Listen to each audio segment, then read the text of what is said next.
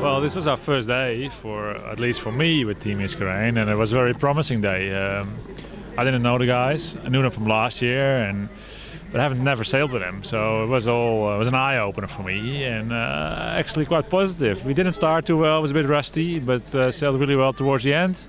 Gained a nice few places uh, all the way uh, at the finish. So yeah, positive day.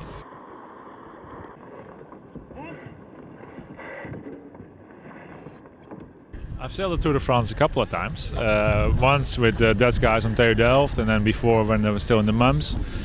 So this is my fourth time, if I believe well. And uh, yeah, it's great to be back. Uh, it's one of the best sailing events there is. You get so much worth for your money. It's all about sailing. It's 30 days, day and night. Um, it can't get much better than that. It's really bang for the buck. Uh, we're among the best amateur teams, so it would be nice to be on the podium of the amateurs. And if you could mix it up with the professionals every now and then, that would be a great bonus.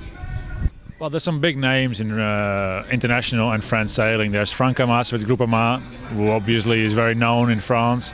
Also, uh, Thomas Coville on Sodebo, and many other guys. It's it's just a very strong fleet.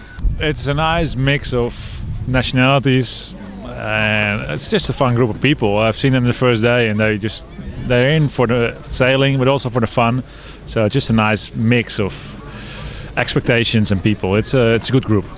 Well, we uh, with a big event like that, you gotta sail a little bit conservative in the beginning. You don't want to take any big risks. You just want to stay with the people, see how fast other people are. Just play the game. Don't go for the big wins, so you also avoid the big losses.